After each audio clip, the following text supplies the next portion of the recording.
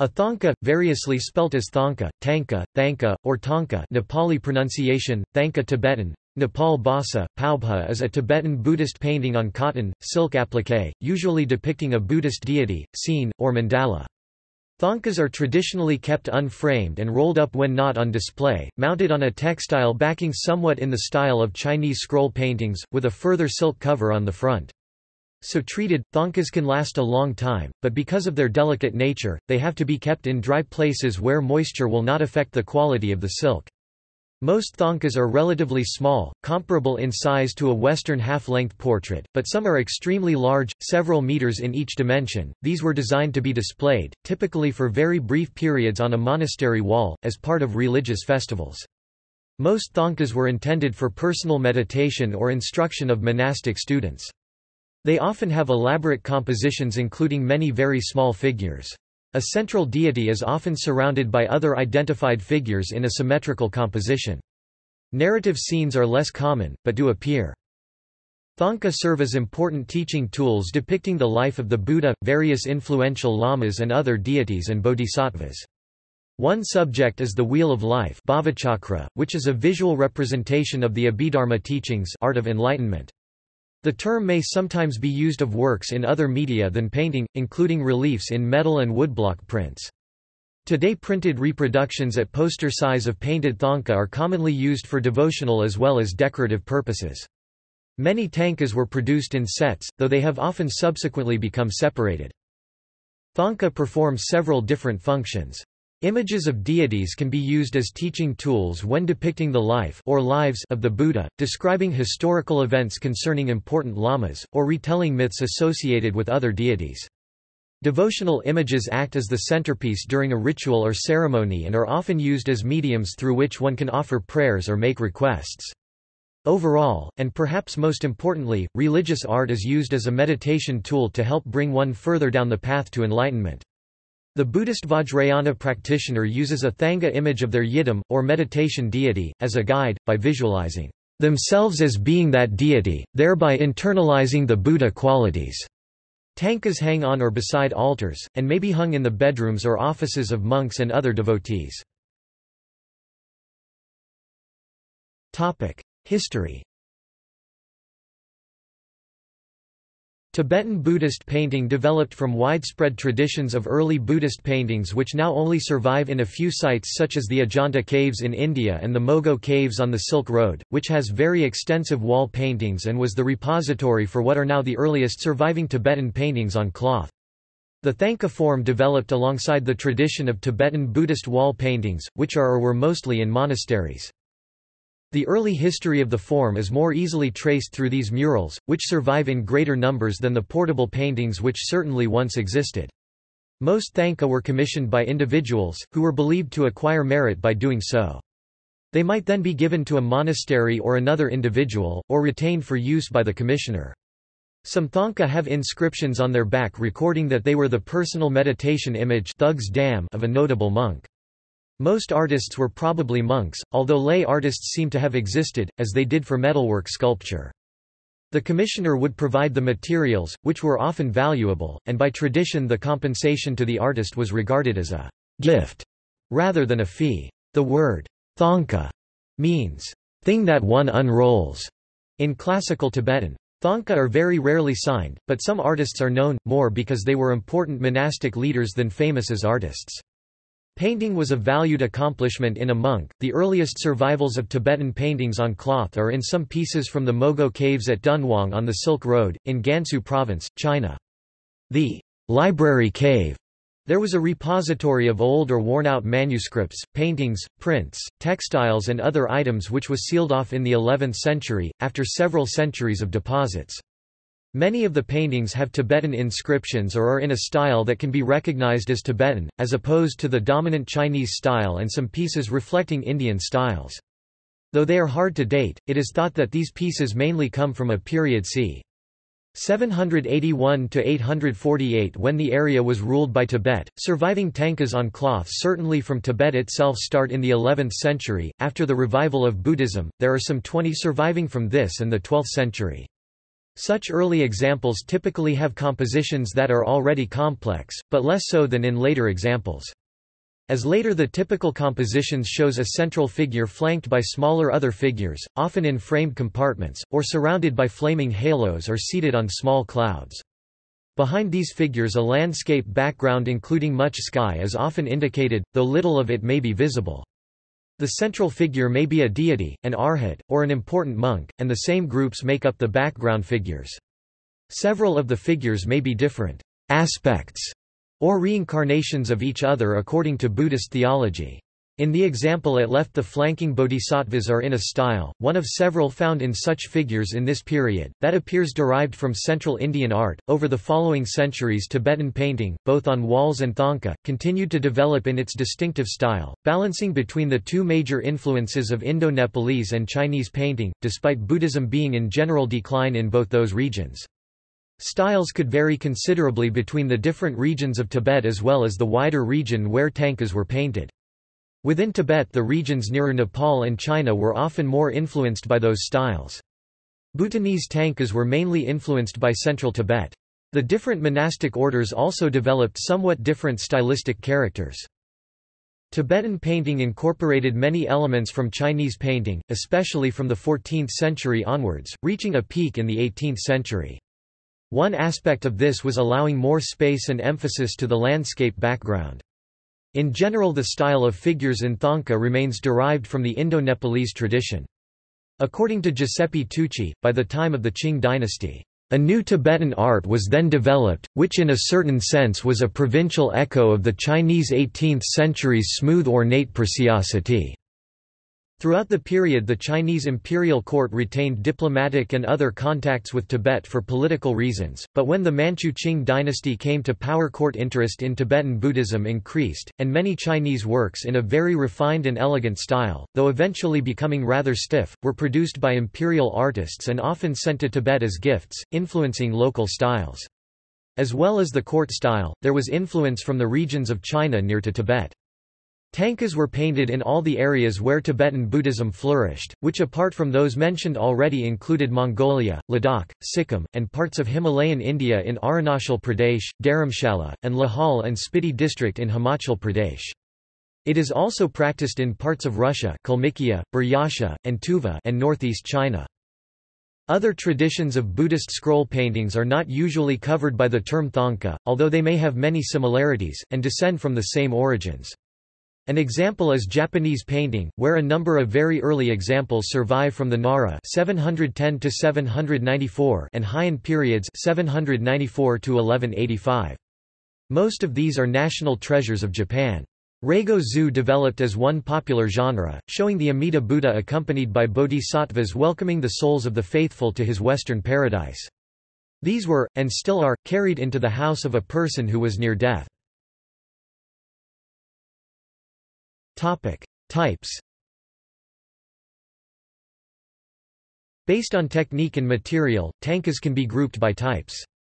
Generally, they are divided into two broad categories, those that are painted tib, bris tan, and those made of silk, either by applique or embroidery. Tankas are further divided into these more specific categories. Painted in colors tib, sun tang, the most common type. Applique tib, go tang Black background meaning gold line on a black background tib, nagtang Blockprints paper or cloth outlined renderings, by woodcut, woodblock printing Embroidery tib, tsem thang Gold background an auspicious treatment, used judiciously for peaceful, long-life deities and fully enlightened Buddhas Red background Literally gold line, but referring to gold line on a vermilion tib, Martangueras typical tankas are fairly small, with painted area between about 20 to 50 cm high. There are also giant festival tankas, usually applique, and designed to be unrolled against a wall in a monastery for particular religious occasions. These are likely to be wider than they are tall, and may be 60 or more feet across and perhaps 20 or more high. In Bhutan at least these are called thongdrels. There are also larger than average thangkas that were designed for altars or display in temples. Somewhat related are Tibetan tsakli, cards which look like miniature thangkas perhaps up to 15 cm high, and often square, usually containing a single figure. These were mostly produced in sets and were usually used in earlier stages of training monks, or as initiation cards or offerings, or to use when constructing temporary mandalas. Another related form is the painted wooden top cover for a manuscript book, giving a long narrow strip, typically some 6 cm by 55 cm, often painted with a row of seated figures in compartments. The techniques for both these forms are essentially the same as for thangka, and presumably the same artists worked on them. Because thangkas can be quite expensive, people nowadays use posters of thangkas as an alternative to the real thangkas for religious purposes. Sources on Asian art often describe all textile tankas as tapestry, but tankas that meet the normal definition of tapestry with the image created only by weaving a single piece of fabric with different colors of thread are extremely rare, though a few tapestry examples in the Chinese kesi technique are known, mostly from the medieval period. There is a large example in the Hermitage Museum, although in this and other pieces the different colors are woven separately and then sewn together in a type of patchwork. Most thangka described as tapestry are some combination of embroidery, applique and other techniques. Process Tankas are painted on cotton or silk. The most common is a loosely woven cotton produced in widths from 40 to 58 cm 16 to 23 inches. While some variations do exist, thangkas wider than 45 cm 17 or 18 inches frequently have seams in the support. The paint consists of pigments in a water-soluble medium of animal glue. Both mineral and organic pigments are used. In Western terminology, this is a distemper technique, although it is often described as a form of gouache, this is incorrect, and the paint was applied as a warm liquid, mixed shortly before application. Most old thangka have inscriptions on the back, usually the mantra of the deity depicted, but sometimes also information as to later owners, though rarely information about the original commissioner or artist. Sometimes X-rays allow pious inscriptions placed under the paint on the front of the image to be seen. Inscriptions may be made in the shape of a stupa, or sometimes other shapes. The composition of a thangka, as with the majority of Buddhist art, is highly geometric. Arms, legs, eyes, nostrils, ears, and various ritual implements are all laid out on a systematic grid of angles and intersecting lines. A skilled thangka artist will generally select from a variety of pre-designed items to include in the composition, ranging from alms bowls and animals, to the shape, size, and angle of a figure's eyes, nose, and lips. The process seems very methodical, but often requires deep understanding of the symbolism involved to capture the spirit of it. Thangka often overflow with symbolism and illusion. Because the art is explicitly religious, all symbols and illusions must be in accordance with strict guidelines laid out in Buddhist scripture. The artist must be properly trained and have sufficient religious understanding, knowledge, and background to create an accurate and appropriate thangka. Tibetan art exemplifies the Nirmanakaya, the physical body of Buddha, and also the qualities of the Buddha, perhaps in the form of a deity. Art objects, therefore, must follow rules specified in the Buddhist scriptures regarding proportions, shape, color, stance, hand positions, and attributes in order to personify correctly the Buddha or deities.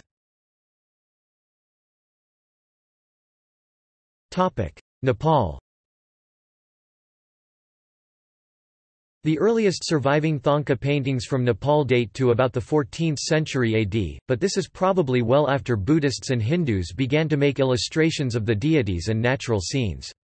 Historically, Tibetan and Chinese influence in Nepalese paintings is quite evident in paubhas tankas, and Nepalese styles have been a significant influence on Tibetan art. Paubhas are of two types, the palas which are illustrative paintings of the deities and the mandala, which are mystic diagrams paintings of complex test prescribed patterns of circles and square each having specific significance. It was through Nepal that Mahayana Buddhism was introduced into Tibet during reign of Angshavarma in the 7th century AD. There was therefore a great demand for religious icons and Buddhist manuscripts for newly built monasteries throughout Tibet. A number of Buddhist manuscripts, including Prajnaparamita, were copied in Kathmandu Valley for these monasteries. Astasahasrika Prajnaparamita for example, was copied in Patan in the year 999 AD, during the reign of Narendra Dev and Udaya Deva, for the Sa Shakya monastery in Tibet. For the Nor monastery in Tibet, two copies were made in Nepal, one of Astasahasrika Prajnaparamita in 1069 AD and the other of Kavyadarsha in 1111 AD. The influence of Nepalese art extended to China in regular order in the 13th century. Nepalese artisans were dispatched to the courts of Chinese emperors at their request to perform their workmanship and impart expert knowledge, with the Nepalese innovator and architect Balbahu, known by his popular name Araniko becoming the chief imperial artist of Kublai Khan. After the introduction of paper, palm leaf became less popular, however, it continued to be used until the 18th century. Paper manuscripts imitated the oblong shape but were wider than the palm leaves. From the 15th century onwards, brighter colors gradually began to appear in Nepalese thangka. Because of the growing importance of the Tantric cult, various aspects of Shiva and Shakti were painted in conventional poses. Mahakala, Manjushri, Lokeshwara and other deities were equally popular and so were also frequently represented in thangka paintings of later dates. As Tantrism embodies the ideas of esoteric power, magic forces, and a great variety of symbols, strong emphasis is laid on the female element and sexuality in the paintings of that period. Religious paintings worshipped as icons are known as paubha in Newari and thangka in Tibetan. The origin of paubha or thangka paintings may be attributed to the Nepalese artists responsible for creating a number of special metal works and wall paintings as well as illuminated manuscripts in Tibet. Realizing the great demand for religious icons in Tibet, these artists, along with monks and traders, took with them from Nepal not only metal sculptures but also a number of Buddhist manuscripts. One of the earliest specimens of Nepalese thangka painting dates from the 13th, 14th century and shows Amitabha surrounded by bodhisattva. Another Nepalese thangka with three dates in the inscription the last one corresponding to 1369 AD, is one of the earliest known thangka with inscriptions. The Mandala of Vishnu, dated 1420 AD, is another fine example of the painting of this period. Early Nepalese tankas are simple in design and composition.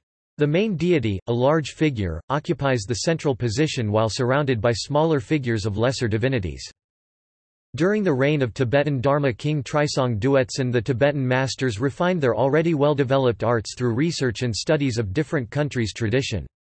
Thangka paintings' lining and measurement, costumes, implementations and ornaments are mostly based on Indian styles. The drawing of figures is based on Nepalese style and the background sceneries are based on Chinese style. Thus, the Thangka paintings became a unique and distinctive art. Although the practice of Thangka painting was originally done as a way of gaining merit it has nowadays evolved into a commercial business and the noble intentions it once carried has been diluted. Tibetans do not sell tankas on a large scale as the selling of religious artifacts such as tankas and idols is frowned upon in the Tibetan community and thus non-Tibetan groups have been able to monopolize on its thangkas popularity among Buddhist and art enthusiasts from the West. Thangka have developed in the northern Himalayan regions among the lamas. Besides lamas, Gurung and Tamang communities are also producing tankas, which provide substantial employment opportunities for many people in the hills. Newari thangkas or paubha have been produced in Kathmandu Valley from the 13th century. Gallery Notes References Kossak, Steven M., Singer, Jane Casey, eds. Sacred Visions, Early Paintings from Central Tibet Exhibition Catalogue, Metropolitan Museum of Art, 1998 fully available online as PDF. Lipton, Barbara and Ragnubs, Nima Dorji. Treasures of Tibetan Art, Collections of the Jacques Marchais Museum of Tibetan Art. Oxford University Press, New York. 1996. RHIE, Marilyn and Thurman, Robert eds, Wisdom and Compassion, The Sacred Art of Tibet, 1991, Harry N. Abrams, New York with three institutions, ISBN 0810925265. Further reading Giuseppe Tucci, Tibetan Painted Scrolls, 3 volumes, Rome, 1949 Otgonbayar or Shu, The Gods, Hiyamori Printing Co., Ltd. Ulaanbaatar 2004, ISBN 99929-74-07-9 Hugo E. Kreijer, Tibetan Paintings. The Jucker Collection, 2001, ISBN 978-1570628658 Huntington, John C., Bangdel, Dina, The Circle of Bliss, Buddhist Meditational Art, 2003, Serindia Publications, ISBN 1932476016, 9781432476019 Per Kvaerne, The Bon Religion of Tibet, The Iconography of a Living Tradition. Serindia, London 1995. ISBN 0-906026-35-0 David P. Jackson, History of Tibetan Painting, The Great Tibetan Painters and Their Traditions, 1995, ISBN 3700122241 Martin Wilson, Martin Brauen, Deities of Tibetan Buddhism, The Zurich Paintings of the Icons Worthwhile to See. Wisdom PUBN, 2000, ISBN 9780861710980 Robert N. Linrothe, Paradise and Plumage, Chinese Connections in Tibetan Arhat Painting. Serindia Publications 2004, ISBN 978-1932476071 David P. Jackson, patron and painter, Situ Panchen and the Revival of the Encampment Style. Rubin Museum of Art 2009, ISBN 978-0977213146 Jacinta Boone Nay Lo, Decision from Indecision, Conservation of Thangka Significance, Perspectives and Approaches, in Journal of Conservation and Museum Studies, Institute of Archaeology, University College London, Volume 8, 1 November 2002 External links. Thangka Painting School in Nepal Collective of Thangka artists of the Kathmandu Valley. More than 4,500 pages of sacred Tibetan art from Dharmapala Thangka Center, Kathmandu, Nepal. Norbulingka Thangka's Norbulingka Institute – Tibetan Thangka paintings from the Tibetan Government's Institute under the chairmanship of the Dalai Lama. Movie about Newari Thangka painting in Nepal. Mongolian Tankas The huge Thangka of Amdo